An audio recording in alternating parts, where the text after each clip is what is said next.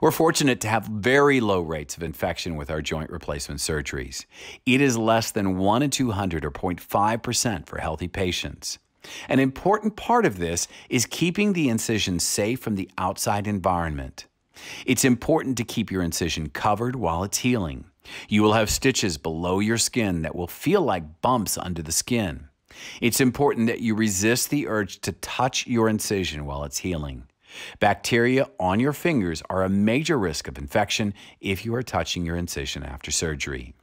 You may feel like you should be having someone look at the incision to make sure that you don't have a problem. Your incision will have a small amount of drainage communicating through it for a few days after your surgery. Your skin and the skin of family members, friends, and medical personnel have bacteria on them. Contact between your incision and these sources of bacteria can increase your chances of infection. We will perform a dressing change once before you leave the hospital. Most patients will be given two dressings to take home with you that are intended to be changed once every 7 to 10 days. Unless your wound is bleeding and saturating your dressing, we do not recommend changing the schedule for wound checking your incision. If your surgeon has other specific instruction for your wound care, their team will let you know before you're discharged home.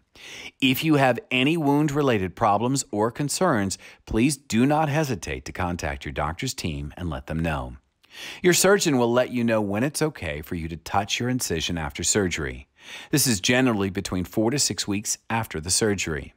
If you have any concerns related to your incision, or if you have drainage still coming through your incision more than one week after your surgery, it is very important that you come in and see one of our surgeons. We have someone here five days a week, Monday through Friday, to see you, and we do not mind you coming in if you have any concerns.